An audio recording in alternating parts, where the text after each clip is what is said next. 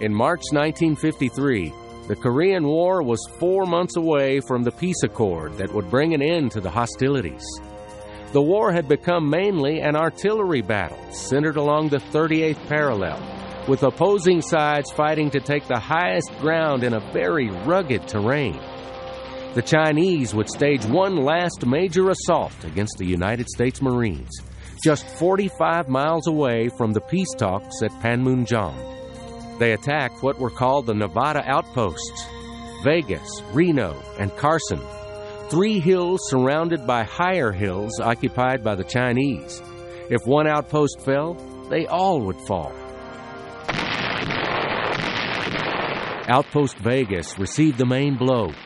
For five days and nights, an artillery battle raged that could be heard all the way back to the peace tables. I'm talking about the World War II veterans that served at that time, said there were more shells dropped on that particular battle than any battle they'd ever fought in World War II on the islands. There were over 500 rounds a minute were coming in. The battle was deadly for the American Marines. There were two companies where there was only uh, 40 men left in each company. They were either killed or wounded. They had lost, they had great casualties at that time. These ridges were so steep that a special method was devised for removing the wounded. We had a soldier get shot out there. We had to put him in a, a wire basket up on top of the mountain in this cable that went to the bottom of the hill. One of the kids that was in our group was from Texas. He'd been an orphan child, good kid. He got shot in the shoulder, went down through his hip. We put him in that basket, and that's the last we ever seen or heard of him. You never knew what happened to them.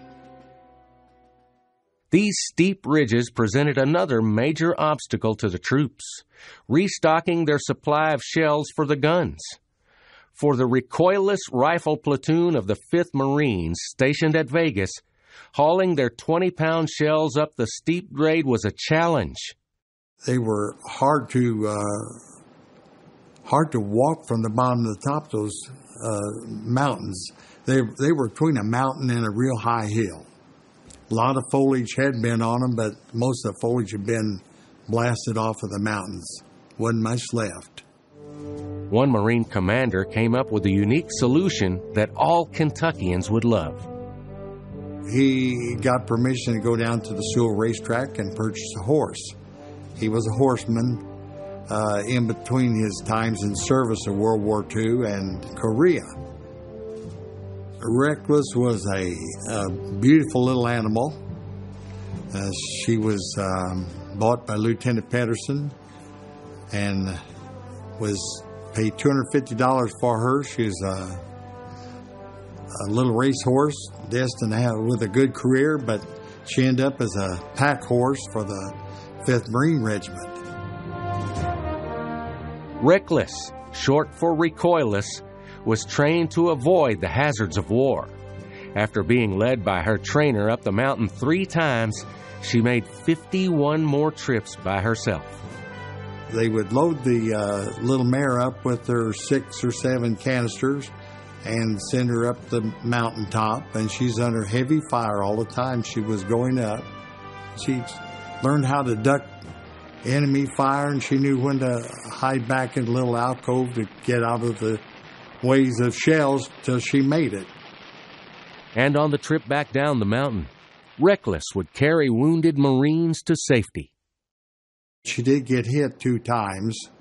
A friend of mine saw her, a shell or fragments of a shell hit hit her ears, and uh, of course, someone in the unit uh, stitched her ears up for her. For the soldiers, it was an inspiration that seemed miraculous.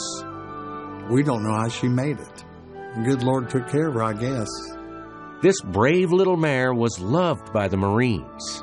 She just uh, roamed freely with everyone. We never put her up at night. She walked uh, duty with me many times. She was like a puppy dog. She just loved people and loved GIs.